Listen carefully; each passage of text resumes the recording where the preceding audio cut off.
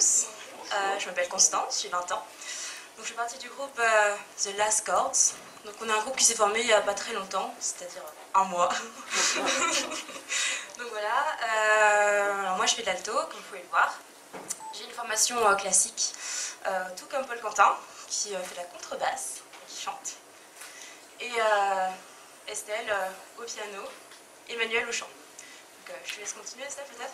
Du coup, euh, Estelle, enfin moi, euh, Constance et Papa, on est tous les deux en année de médecine et on a commencé à jouer ensemble en fait euh, pour notre association. On a joué pour les enfants protégés, donc, donc voilà. Et avec Emmanuel, je joue au cadre, enfin dans le des unisons à, l'opérette depuis quelques années. donc moi j'ai une formation plutôt musique actuelle.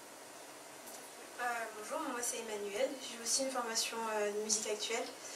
j'ai 16 ans et je suis lycéenne en classe de première.